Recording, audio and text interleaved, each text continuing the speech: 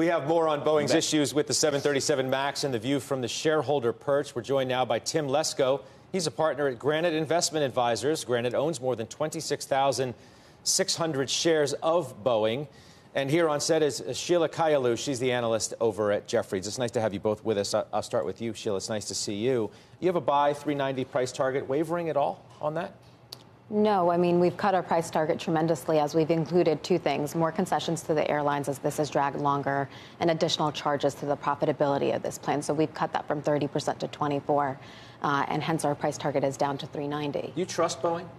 I think what's happened is with the free cash flow impact, we've lowered our expectations. So that's embedded in there. And we don't think this is binary anymore where you get return to service and the stock is off to the races. It takes a while for it to re rate, for the customer to regain confidence, for the consumer to regain confidence. This may sound extreme, but what happens if the MAX never gets back in the air, number one? And even if it does, what happens if people don't fly it?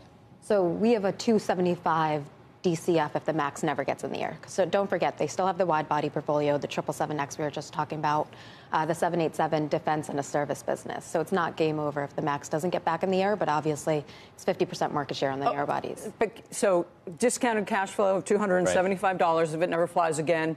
If it does fly again, I mean, give me the context. How much worse is that compared to what we all thought originally?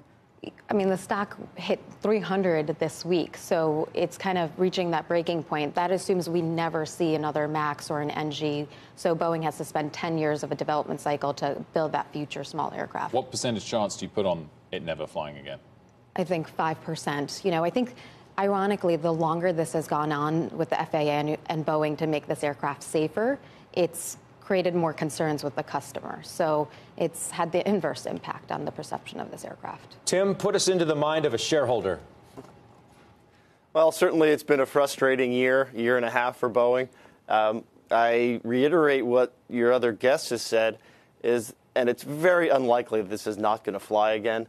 You're not going to set up to build planes before you're set to do deliveries this summer if you don't think it's going to fly again. I think Boeing needs to regain the trust of the investor public and regain the trust of flyers, and that will just take some time. It takes a long time to get and maintain a premium multiple in the marketplace, and it takes a very short time to destroy that. And I think that's what we're most worried about. Our airline correspondent, Phil LeBeau, has something for you guys. Phil?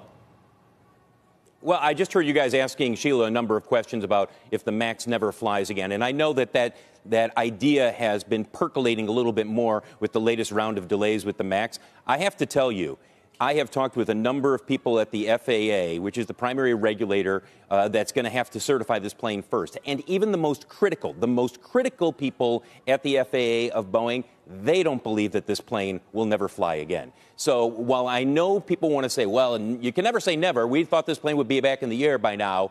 I can tell you emphatically that the belief is this plane will be certified and will be deemed safe to return to service. There is nobody who is looking at this saying, I don't know, I don't think this plane should get back in the air.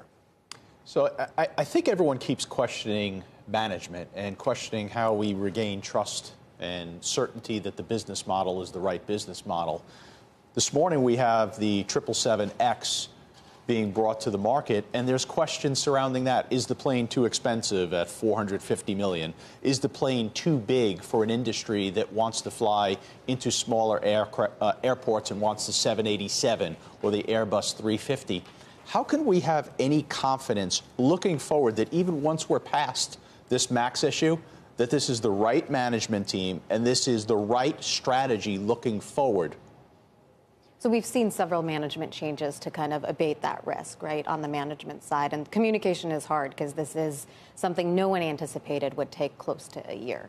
So I think that's that. On the 777, X. Phil talked about a backlog of 300 firm orders or so. That's across 10 operators. It's usually the Middle East that likes to buy those bigger planes. We're much more bullish on the 787. That's the smaller uh, wide body that uh, Boeing offers. We like that aircraft because we think you'll have more point to point reliability with an aircraft like that versus a 777X carrying 360 passengers around. Tim, in, Tim, in terms of the new management and pushing back expectations of when the 737 MAX will fly again, do you think that is just them trying to set the bar low so they can beat it? And, and if so, why didn't they push it back a, a little bit further? I ask because H- how badly do you think the stock would react if they did have to issue another delay, albeit even a, a small one, given that this is the new management trying to shake off, as, as Sheila kind of just referenced to, the, the issues of trust that the old management had? Well, I, I think that management is really trying to kitchen sink probably this quarter. Everybody knows they're going to need to take a large charge, uh, both for the production issues and for the rec- recom- recompensation to the airlines. So, in our mind, Calhoun is coming in and he's really setting the bar very, very low in order to beat it. You haven't had a positive piece of news out of Boeing in eight months. Hasn't worked on the 777, hasn't worked on the 737, and hasn't worked on the space program. So they really need a win, and I think they're setting themselves up for one.